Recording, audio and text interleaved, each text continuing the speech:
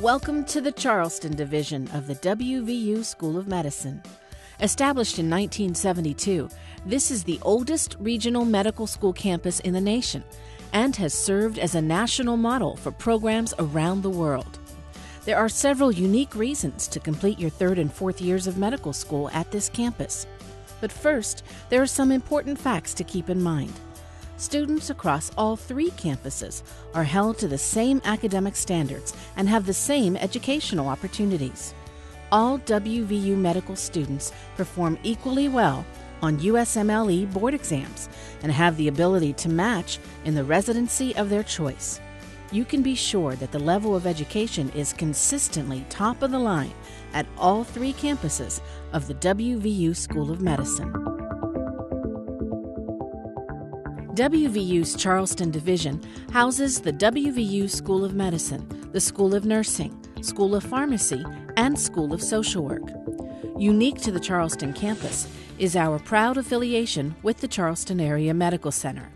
As the division's sponsoring teaching hospital, CAMC provides the educational setting for your medical education You'll be working side by side with doctors and scientists, learning from practicing professionals in a variety of clinical settings. Actually, one internal medicine uh, professor has given us her cell phone number. Please text me if you have any questions about anything in medicine while you're down here. It's absolutely wonderful. And a lot of the faculty are that way. The attendings are so nice, not hostile at all, which is you know, I've been worried about that starting third year. What are they really going to be like? They're up here, we're down here. I haven't really experienced that. They're wonderful about teaching, helping you with anything. CAMC is composed of three hospital divisions not more than 10 minutes apart. The CAMC General Hospital includes a neuroscience center, a level 1 trauma center, and the state's only kidney transplant center. There's also a simulation center where you can practice your medical skills on lifelike mannequins under the guidance of faculty and staff educators. CAMC Memorial Hospital is the site for one of the nation's largest cardiac and endovascular surgery programs. It's also home to the David Lee Cancer Center. You'll see patients in the outpatient setting in a five floor clinical teaching center.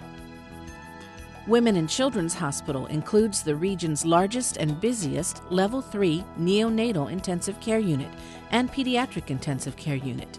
It is the only freestanding women's and children's hospital in West Virginia. More babies are delivered here than anywhere else in the state. Charleston's a big city. There's lots to do here. There's three hospitals. We get spread out.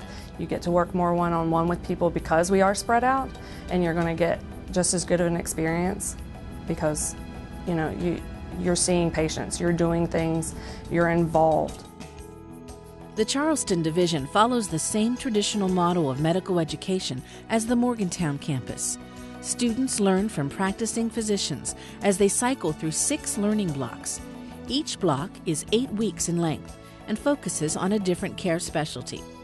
The Charleston campus houses a fully staffed medical library with one of the largest clinical collections in West Virginia and a computer index to the National Library of Medicine.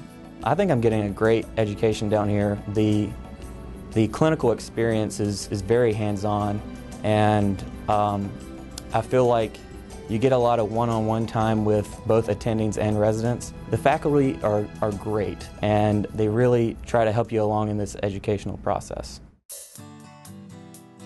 The Kanawha River is a beautiful setting for Mayer Village student housing, easily among the best housing of any regional education campus.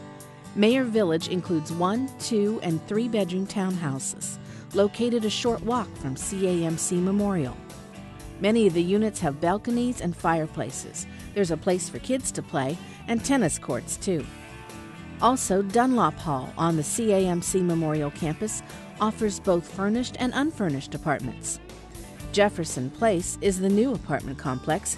It's centrally located downtown and allows pets.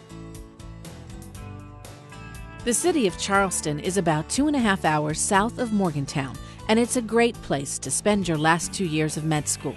Charleston is a sophisticated urban center with excellent shopping and great restaurants, but there's still a lot of small town charm.